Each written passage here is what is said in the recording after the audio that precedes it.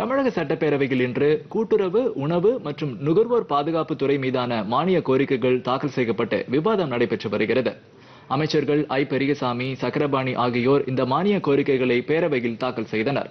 இந்த மானிய கோரிக்கைகள் ஆளும் கட்சி எதிர்க்கட்சி உறுப்பினர்களின் விவாதத்திற்கு பின்னர் பேரவையில் ஏற்றுக்கொள்ளப்படும்.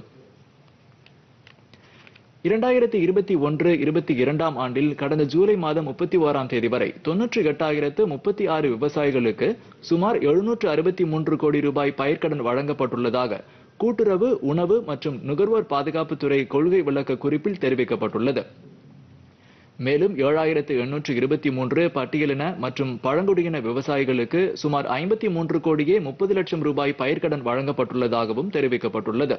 நடப்பாண்டில் பதினோராயிரத்து ஐநூறு கோடி ரூபாய் பயிர்க்கடன் வழங்க இலக்கு நிர்ணயிக்கப்பட்டுள்ளதாகவும் குறுவை பயிருக்கு எண்பது கோடி ரூபாய் கடன் வழங்கப்பட்டுள்ளதாகவும் அமைச்சர் ஐ. பெரியசாமி தெரிவித்தார்.